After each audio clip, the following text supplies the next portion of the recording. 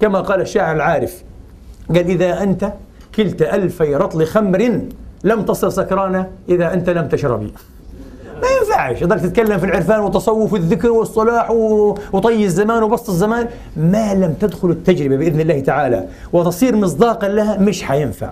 ورحمة الله على محمد إقبال إيش قال؟ قال ليس كل من درس النحل أكل العسل. في كثير الناس بتخصصوا في النحل بس بيقولوش عسل. فهذا هو كما قلت لكم الفرق بين العلم والعرفان. الفرق بين العالم والعارف بالله. مش كل عالم عارف. آه. فالعالم دون ما يقول والعارف فوق ما يقول. فوق ما يقول. أنا بسميها بلغتي البسيطة بسميها النسخة الخاصة من الإيمان. وبطالب نفسي وبطالب كل واحد بقول لابد أن يكون لنا نسخنا الخاصة من الإيمان. أما إيمان أه؟ عبد المنعم ياسين وابن تيمية والطبراني وأقرأ الكتاب وأحفظه وأظل أتكلم في الإيمان والتوحيد وعمري 15 سنة. كما أتكلم فيه بعد ذلك وعمري 70 سنة والله هذه يعني خيبة كبيرة وخسران مبين. حقيقة. في ناس زيك علماء كبار متخصصين وبيدرسوا في الجامعات. يتكلم في قضايا الإيمان كما كان يتكلم قبل 60 سنة. يا أخي أين نسختك الخاصة أنت؟ ملكش تجربة إيمانية أنت؟ لابد يكون لك تجربة إيمانية خاصة مع الله تبارك وتعالى.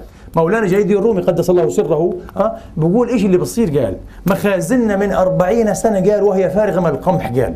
لابد أن الفأر قال إيه تسللت إلى مخازن قمحنا. الرياء والكذب وكذا. أكيد في أشياء ولذلك ما عندناش محصول.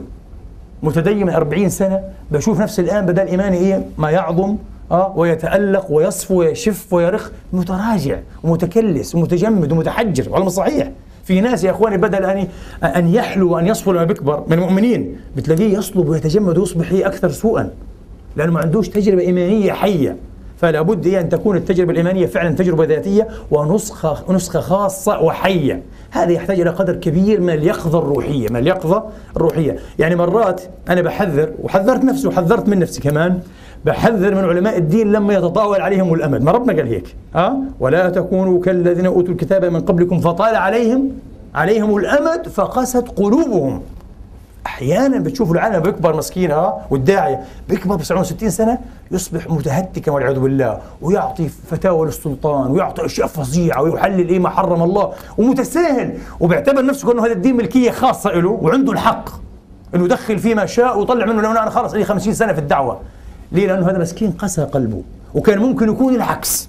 لو كان إيه يقظان وصاحيا كان هذا في هذه السن أنا أقول لكم مش حيكون عالم مفتي حيكون عارف بالله كبيرا جدا جدا بإذن الله يربي الناس بالنظرات بإذن الله. بركاته والله تحيي القلوب. ولا مش صحيح؟ حلوله بين الناس. النبي عليه السلام أنتم لاحظوا في في الآيات الكريمة لما سيدنا إبراهيم دعا إيش قال؟ ربنا وابعث فيهم رسولا منهم يتلو عليهم آياتك ويعلمهم الكتاب والحكمة ويزكيهم. أنا بقول لكم هذا تقريبا دروب الأنبياء جميعا. تعليم وتربية كذا وتزكيه إلا محمدا صلى الله عليه وسلم. حالة استثنائية تماما. لما الله أخبر الآن عاد أه؟ عن الواقع وقرر إيه الحقيقة إيش قال؟ هو الذي بعث في الأميين رسولا منهم يتلو عليهم آياته ويزكيهم وبعدين ويعلمهم الكتاب والحكمة. غير دعوة إبراهيم. حالة استثنائية ولا مش صحيح؟ في في سورة آل عمران نفس الشيء ويزكيهم ويعلمهم.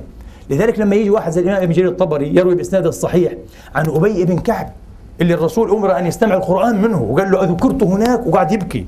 الصحابي الجليل هذا ها؟ أبي بن كعب سمع مرة النبي إيش؟ كيف يجيز قراءات مختلفة. يقول أبي النبي أقرأني هذه السورة بطريقة. وأجى رجل آخر والنبي أقر على قراءة مختلفة. قال فوقع في قلبي من الشك لا والذي كان في الجاهلية. شك أبي في القصة كلها. لا يكون هذا مش نبي طلع وضحك علينا وخدعنا ولا يكون في شيء كذا. مسكين خلاص الأمور التافت عنده. آه شايف فتنة. قال فكأن النبي إيش؟ أذن. آه. علم. فنظر إلي وضرب بكفه الشريف آه في صدري. مربي. لو عالم كان راح كان كفر خلاص. النبي ما هو عالم وكذا النبي سيد العارفين. سيد المتصلين طولع بحال الرجل مباشرة. قال فضرب إيه؟ بكفه الشريفة في صدري وقال يا شيطان اخرج اخرج. قال فارفضت عرقا. عرق شديد جدا جدا جدا. آه. ولكأني أنظر إلى ربي فرقة كأني رأيت الله في اللحظة هذه. أنقذه الرسول بماذا؟ ببركته بسره القوي الباتع الماتع كما يقال. مش بالمعلومات والكلمات والآيات لأنه يزكي النبي بعث للتزكية. فإحنا هذا ما نطلبه يا أختي. هذا الكلام مطلوب من الجميع. آه أن يكون لنا هذه التجربة المتواصلة مع الله تبارك وتعالى. عشان نقدر إيه؟ نزكي من حولنا ونزكي أنفسنا. مش بس نعلم ونتكلم. هذه ولذلك قيل بحق قيل من لم ينفعك لحظه لم يفدك لفظه. العالم اللي بتشوفه إذا ما بتستفيدش من من خلقته. حابب تشوف تحس فيه نور إلهي. ما تحاولش تسمع له. حتى بنفسك مش حينفعك. في نهاية المطاف. فأنا معك وبعك بشد على يدك وهذا المطلوب حقيقة. آه.